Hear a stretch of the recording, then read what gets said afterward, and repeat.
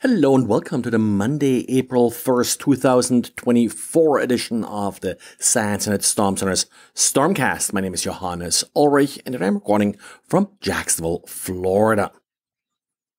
Well, I'll do something a little bit different today, and that's uh, covering only one individual topic. On Friday, Andres Freund uh, did uh, publish a mailing list post to the open source security mailing list. And in this post, Andres Freund uh, did explain his work in discovering a backdoor in the popular XZ util package.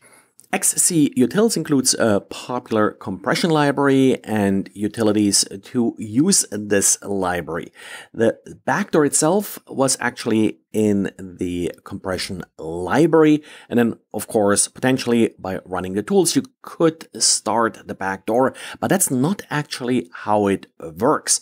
This backdoor specifically targets System D. systemd is used to launch various daemons, and the way the backdoor works is that essentially it waits for connections to the SSH daemon. And no, it's not one of those simple, hey, you connect with the right key and you are logged in. It's a bit more complex in that it looks for the right key, but then actually executes code that is being sent by the user. So the user actually never logs in. So again, version 5.6.0 and 5.6.1 are affected. Luckily, these versions were released relatively recently. So for the few versions that are affected, like for example, Arch Linux and Kali Linux, they're only affected if you update it within approximately the last week. You're also not affected if you are running on a processor other than x86 64, so all your Raspberry Pi users are not affected. And in Mac OS, if you are using Homebrew to install packages, you may have received the backdoor version last uh, week, but this particular backdoor was actually not included based on how this particular version was created. And with that, uh, let's talk a little bit about the history and sort of uh, what we currently know about what exactly happened. And of course, this is still a very much developing story. The reason Andres Freund actually discovered the backdoor was that he noted that the connections uh, to his SSH daemon on a system, well, just took a long time to log in. And that's sort of one side effect. There were also error messages uh, that occasionally showed up. The 5.6.0 version had some problems that were then actually addressed by the attacker in 5.6.1.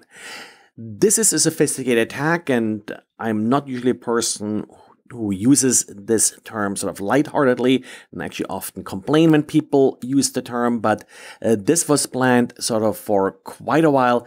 The accounts that were created in order uh, to then deliver and uh, send a pull request with the backdoor were created in 2021. In 2022, the particular account here Jia Tan, if I pronounce this correctly, uh, started committing changes to the XZ project. There were, for example, initially some changes made to disable some tests uh, that uh, later helped to prevent the backdoor from being discovered.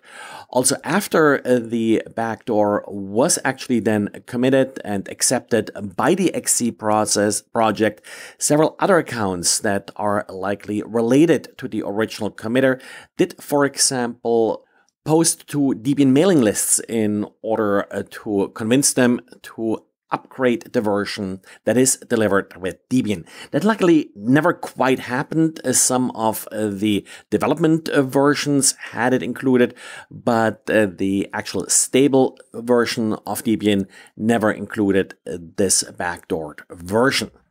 To activate the backdoor, the attacker will need a specific key. This key is currently not known and likely will not be known unless uh, the attacker sort of publishes it. So there is little risk right now for random people abusing this particular backdoor. On the other hand, this also makes it difficult uh, to just scan your network and figure out if your version of SSHD uses uh, the backdoored library. To check if you're vulnerable, you have to make sure that you do not have liblzma 5.6 installed. So 5.6.0, 5.6.1 are the two versions that have been released. The actual GitHub repository is no longer reachable, so no real chance that additional installs are happening right now. And if you are vulnerable, it's probably because you upgraded the last uh, couple weeks. So check your favorite package manager to see what version of the liblzma 5 package you have installed. It's not usually the xz-utils package that installs this library, even though they should be in sync. They should use the same version number.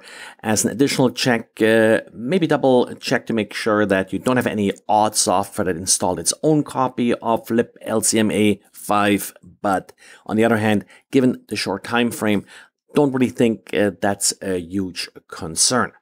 In a tweet, I suggested just running xz space dash capital V. That'll give you the version of uh, the uh, XZ binary as well as uh, the LZMA library that it's loaded A couple people commented, and probably rightfully so, that you probably shouldn't just run a known backdoor to like this. But again, remember, this actually doesn't trigger the backdoor. It's only triggered if it's then being loaded uh, into SSH via systemd. So uh, quite complex malware here, but definitely checking the packages uh, certainly makes a lot more sense.